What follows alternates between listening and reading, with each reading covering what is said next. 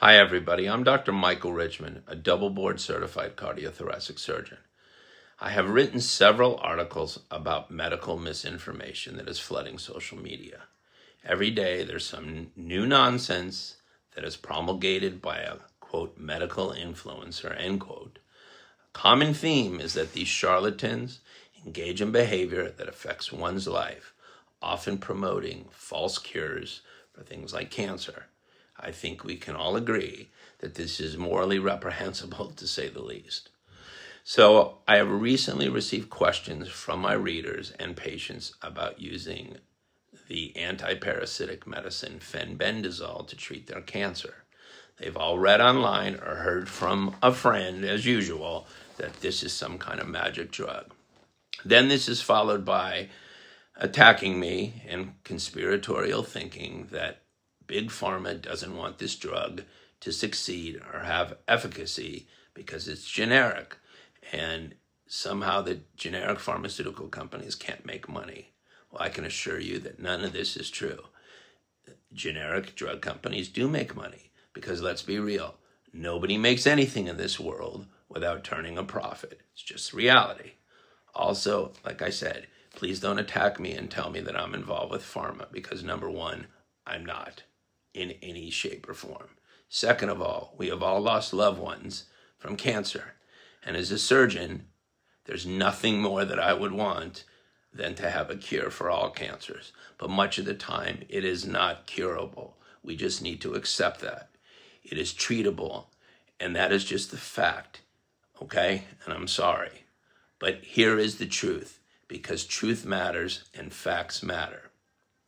So like I said, Fenbendazole is an anti-parasitic medicine that has garnered significant attention as a potential cancer treatment, which is fueled solely by anecdotal reports and preclinical studies. However, a thorough review of the available scientific evidence, which you can look up too, reveals that fenbendazole is not a proven treatment for cancer in humans.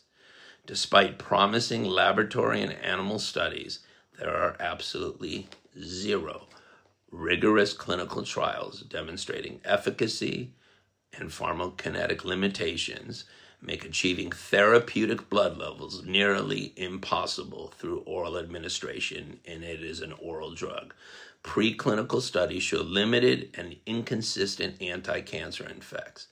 It belongs to a class of drugs which have demonstrated anti-cancer activity in cells and in animal models. However, these effects are highly variable. For example, a study on EMT6 mouse breast tumors found that, quote, fenbendazole did not alter tumor growth, end quote, or enhance radiation therapy despite cytotoxic effects, okay?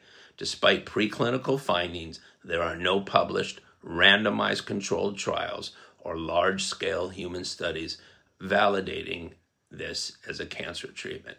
There's an excellent review in 2024 in Anti-Cancer Research, that's the name of the journal, that concluded that while fenbendazole has intriguing biological activities, clinical trials are necessary to determine safety, dosing, and efficacy in humans. The absence of approval by the FDA or the European Agency in Oncology underscores the lack of robust human data. Despite this, Many quacks and influencers cite the widely publicized Joe Tippens case, who is a lung cancer patient, apparently, who claimed remission after using fenbendazole. Again, this is purely anecdotal and lacks any scientific validation in anybody. There are no dosing standards, and without human clinical trials, optimal dosing is unknown. His protocol involved 222 to 444 milligrams per day, and it's completely arbitrary and not based on pharmacokinetic data. There are also known risks. High oral doses are very toxic to the liver, okay? Dangerous. Fenbendazole is also metabolized by what is called CYP enzymes, which interacts with drugs that do work.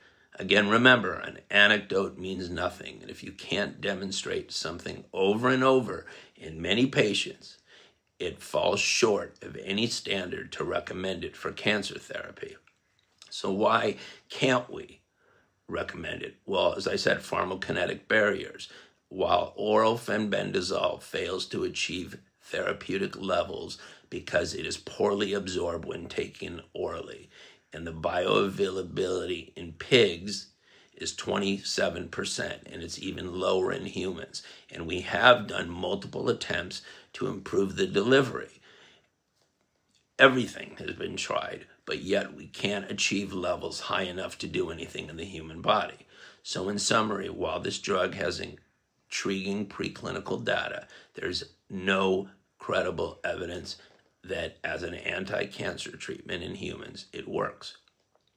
The promise of this drug often leads patients to forego established cancer therapies and jeopardize their treatment outcomes. Emphasizing, unverified treatments fosters a dangerous culture of false hope where patients may cling to ineffective and alternative therapies in lieu of evidence based medicine.